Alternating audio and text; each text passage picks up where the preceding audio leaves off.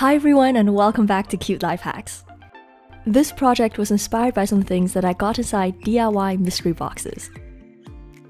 If you haven't seen it yet, then be sure to watch the full video of me unboxing mystery craft supplies here. One of the grab bags contained this gorgeous iridescent fabric, which reminded me of the very first YouTube video I made. So based on that, I decided to go with a star theme and turn these into a shiny squishy phone case. Of course, these are a lot more similar to paper squishies than silicone or foam-based squishies. To learn more about the different types, you can check out this video here. And if you're not part of the Maqaroon and Cute Life Hacks family yet, then just hit that subscribe button to become a cutie nature. I have tons of tutorials and giveaways coming up soon, so you don't want to miss those. To get started, you'll need a clear phone case, any fabric of your choice, a hot glue gun, polyester stuffing or cotton wool, and some scrap card. This type of cardboard is super cheap and easy to find. I'm using an old tissue box, but you can also cut open cereal or pasta boxes.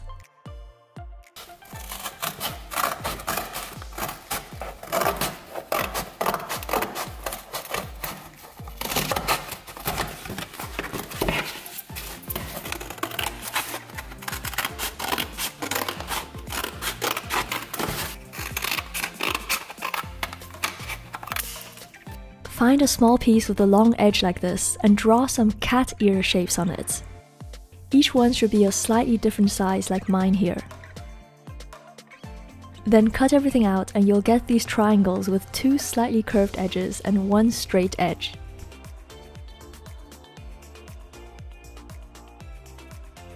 Take a larger piece of card and place one of the triangles on top. Now trace along the flat edge to create a pentagon shape. You might need to reposition the piece a few times before finding the perfect angle so that all five sides are the same length. Once you have your pentagon, flip the template around and trace out a star like this. This method gives you a cute and almost perfectly symmetrical star. Then repeat the process with the other pieces to create many stars in different sizes. Some people might be wondering, why go into all that trouble with tracing when you can just draw a star directly onto the card? This can work, but it's extremely difficult to draw a perfectly symmetrical freehand star. As you can see, I was actually surprised at how badly mine turned out, considering that I actually have a lot of drawing experience. Even after correcting the shape while cutting it out, you can still see that the two stars look very different. So I would always recommend using the cat ear method, and of course you can create these stars in any size for any project. If you want to make a phone case, then start by checking that all the stars fit nicely on top. Now take a fabric and I've linked the Etsy shop where I bought mine from below. Even though it was part of a mystery box, based on the photos it looks like that every bag contains at least a few pieces of this shiny fabric. You only need a tiny piece for this DIY, so you can make tons of stars if you want to. Place your template onto the fabric and trace around it leaving a generous border all around the outside. Then add some extra guidelines exactly like I'm doing here. Now cut everything out and take care not to go over the lines when creating the slits.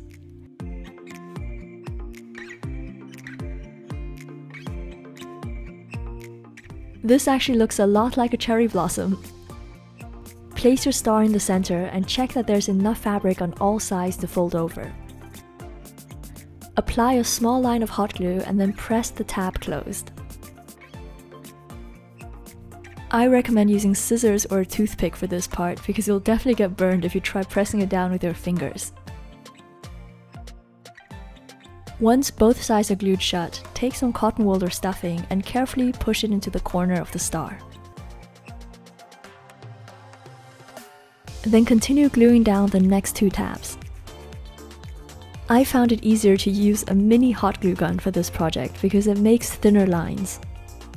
Sadly, normal glue won't work for this because it takes too long to dry and trying to stuff it will most likely rip the fabric back open. Repeat this method until you've completed four corners of the star. Once you reach the final corner, begin by just sticking down one side. Then add as much stuffing as you can so it looks as puffy as all the other corners. And lastly, just flip it around and glue down the final tab. Now you have a cute puffy star that you can press and squish. This tutorial works with many types of fabrics, so try experimenting with any scrap pieces that you have around. Next, I'm just repeating everything to make the pink star. Strangely enough, I actually found that making smaller stars was easier than making bigger ones. Even though it was a tiny bit fiddlier to cut out and fold the small tabs, the stuffing part went smoother and the final result looks better as well. Each of these took about 5 to 10 minutes to make, and you'll become a lot faster after you get the hang of it.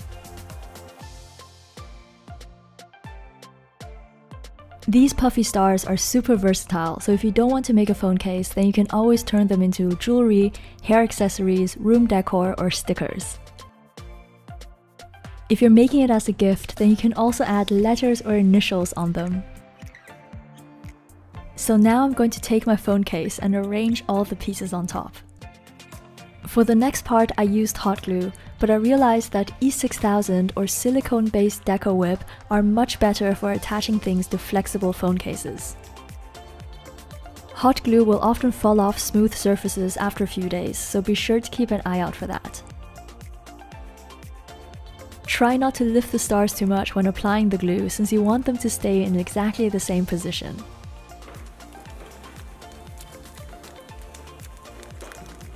And finally, just pop your phone into the case and you're done. This is a super cheap and easy DIY that's great for using up leftover materials. You can also try making other shapes like hearts or letters. I love phone cases with unusual textures or movements since it's something that you always have in your hand and it's fun to play with. I hope you enjoyed this tutorial and don't forget to watch the first part of this video where I unbox lots of DIY grab bags. This is Joanna, thank you so much for watching and I'll see you in my next video. Bye!